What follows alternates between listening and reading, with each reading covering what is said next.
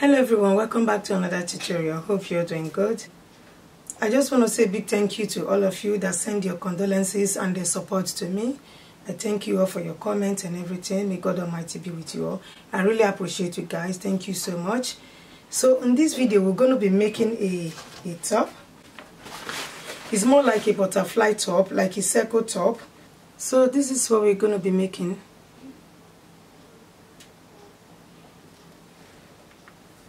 so this is the fabric I'm making use of. It's less than two yards. I'll turn it to the wrong side and then fold my fabric into two.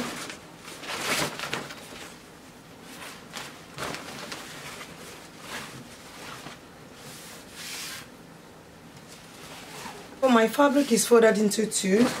So I'm going to fold it again. Now it's folded into four. You fold it like you're cutting a circle. It's a circle anyway so from here I have a uh, 22 inches here. I have 28 inches here. 28 inches here and 22 inches here. So for the wideness of the neck I will take 3 inches.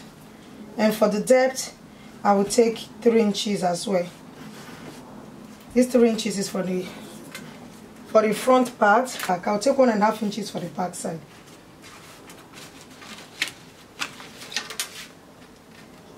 I will connect the lines.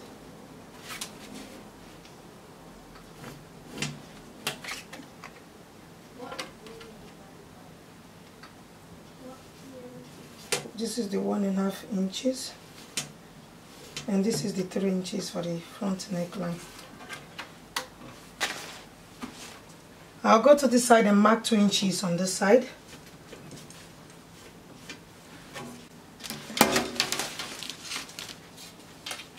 that is the shoulder slope.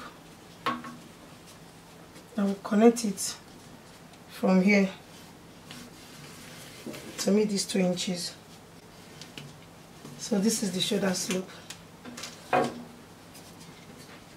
I will slant this starting from here will curve it to meet this edge here so let me do it again. This is my shoulder slant. So I will start from here where the shoulder slant ends. I will start from the edge here. Take it curve it. It's just like a circle top. And curve it like so.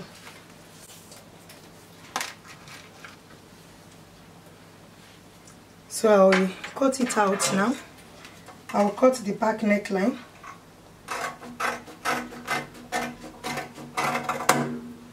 I will bring the front one out then I will cut out the front neckline. Cutting out the shoulder side.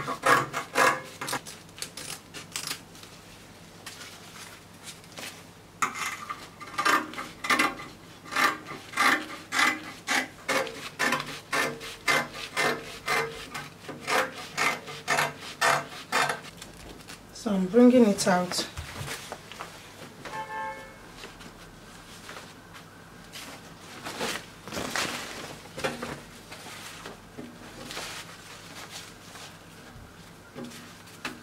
so this is the front one.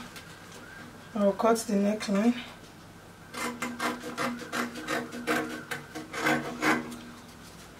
And I will split this into two so I'm going to be inserting zip here the front part. They're supposed to add two inches for zipper allowance or one and a half inches for zipper allowance. Or is a circle top fine. So you open it up it should look something like this. I will use it facing to hem the neckline. Then I'll add my zip before joining them together. This is the zip I'm using.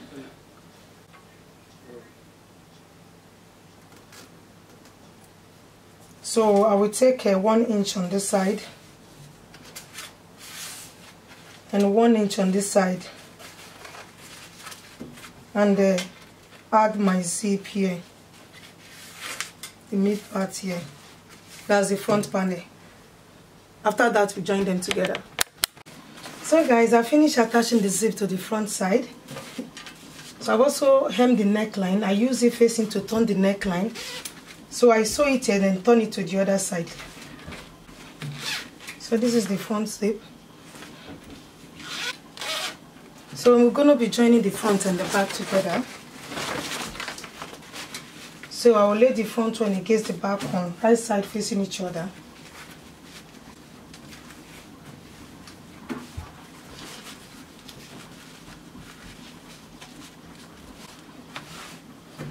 So I will go ahead and sew the shoulder here half inch and then sew this side half inch. Then before I will turn it to the right side and then sew the front part. So I finished joining the shoulders together so what I'm going to do next is to come down 10 inches from the shoulder. I will come down 10 inches from the shoulder. That is where my arms will go through I'll mark the 10 inches here I will do the same thing on this side. 10 inches.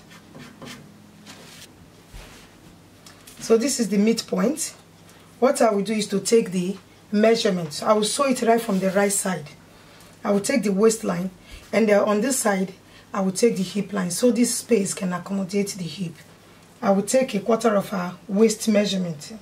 Her waist measurement is 36 inches divided by 4 or is 9 inches. So right from this midpoint here I will mark 9 inches.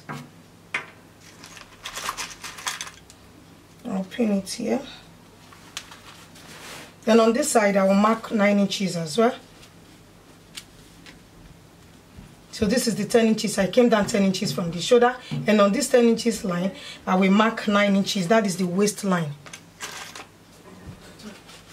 I'm pinning here. Yeah, will just take it right from this 10 inches.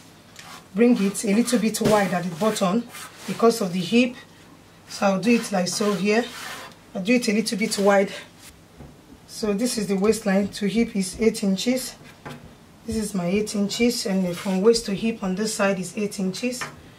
So here the hip measurement is 46 inches. Divided by 4 is 11 and a half inches. So on this line on this hip line I will mark 11 and a half inches. So I will bring it here like so so that the space will accommodate the hip. So I will do the same thing on this side. I'll mark 11 and a half inches I'll take it from the hip and bring it down so I will just go ahead and uh, sew here. So from the waist to the hip hip to the down part. So I'm pinning my, my top. So this is the right side. I'm sewing it right from this right side just here and here. So I finished sewing the top. I finished sewing the side. So this is the finished look of the top I sewed half inch on this side and half inch on this side for zipper allowance. If you want to make yours you can cut it separately and add one inch for zipper allowance to the front side. So mine I didn't add any zipper allowance to it. I cut everything together. So after cutting it I found out that the back is a little bit um, bigger than the front one. So I have to trim it very well to make sure they are equal.